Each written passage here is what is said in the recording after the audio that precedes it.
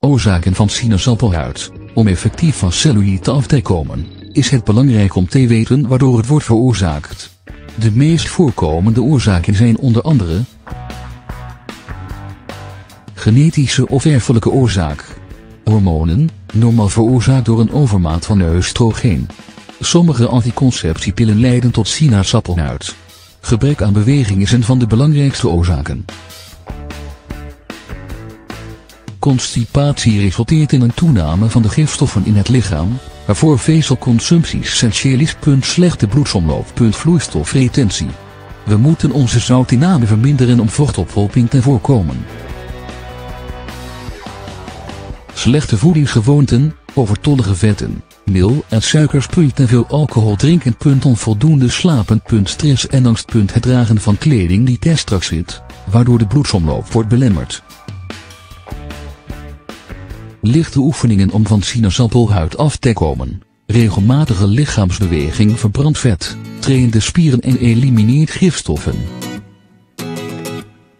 Bovendien vermindert het vochtretentie, helpt het bij het pompen van meer zuurstof door het lichaam, verlaagt het stress en versnelt het de stofwisseling. Met andere woorden, het brengt je in staat om controle uit te oefenen over veel van de oorzaken die leiden tot cellulite. Dit helpt je om van de sinaasappelhuid af te komen. Als je elke dag een uur stevig wandelt, komt de bloedsomloop goed op gang. Een goede wandeling is geweldig voor de benen en bilspieren. Dat zijn de lichaamsdelen waar de cellulite vooral de neiging heeft om te ontstaan. Door elke dag een uur te bewegen kunnen we onze spieren aan het werk zetten en zo onze benen verstevigen en versterken. Dansen, fietsen, zwemmen en elke vorm van watersport, meerdere keren per week, doet wonderen voor de benen en het bestrijdt sinaasappelhuid. De hele dag actief zijn, en niet langdurig zitten, kan ook een positief effect hebben. Probeer zoveel mogelijk de trap te kiezen in plaats van de lift te nemen, en kies ervoor om te lopen of te fietsen in plaats van met de auto te gaan, waar dat mogelijk is. Als het voor je werk nodig is dat je overdag vele uren zit, probeer dan je benen te bewegen en regelmatig op te staan. Aan de andere kant, als je meestal op je voeten staat, probeer dan te lopen of je been en enkels te bewegen. Cellulite wordt erger als je lang achter elkaar in dezelfde positie verblijft. Zo doe je de oefeningen. Op de rug liggend. Ga op je rug de grond liggen met gebogen knieën en je benen tegen elkaar. Ontspan je armen en buik. Spreid je benen en sluit ze dan weer, terwijl je je bilspieren aanspant en je heupen omhoog tilt. Op je zij liggend, ga voor deze oefening op je rechterzij liggen. Plaats je rechterhand onder je hoofd en til je linkerbeen omhoog. Til je been op en houd je knie recht, zonder je rechterbeen aan te raken. Herhaal dit met het andere been. Staand, sta stil, buig je rechterbeen en til je rechterknie op tot aan je borst. Je rug moet te al een tijde recht blijven. Doe drie sets van 10 of 15 herhalingen en doe hetzelfde met het linkerbeen en de linkerknie.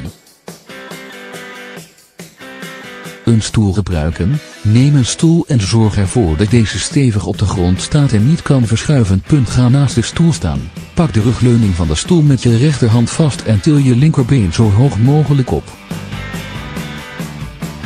Laat je been zakken, buig je knie en til het weer op. Punt herhaal de beweging, afwisselend met beide benen. Op handen en voeten, probeer deze oefening uit door op je knieën te gaan zitten. Met je armen licht gebogen en stevig op de grond. Punt met één knie op de grond. Til je de andere naar links tot de hoogte van je heupen. Squats. Dit is een oefening die je staand doet. Zet je voeten iets uit elkaar en houd je handen op je heupen. Buig de knieën in een hoek van 90 lege bullet. Punt blijf 2 minuten in deze positie en keer terug naar de oorspronkelijke positie.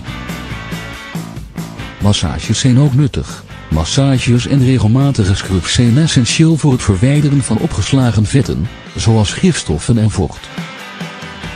Een goede massage brengt opgeslagen stoffen in beweging en leidt ze naar de juiste weg om uit het lichaam te worden verwijderd.